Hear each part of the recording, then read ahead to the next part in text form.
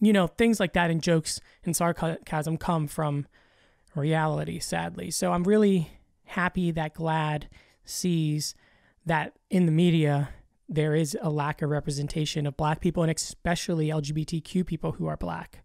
Um, so yeah, you know, I went and I took a look into this, and their first video was posted last Thursday featuring Roya Marsha, a black writer and educator from the Bronx.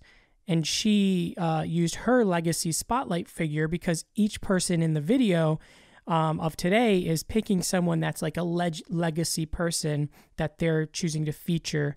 Um, and that person for her is Audre Lorde. And in this video, uh, Roya basically shares how much Audre has shaped her as a person, as the person that she is today. You know, this is important stuff. It's easy for people of color to get lost in history. I like that GLAAD's doing this and what, you know, and how awesome it is that they are using people who are up and coming leaders to get this going.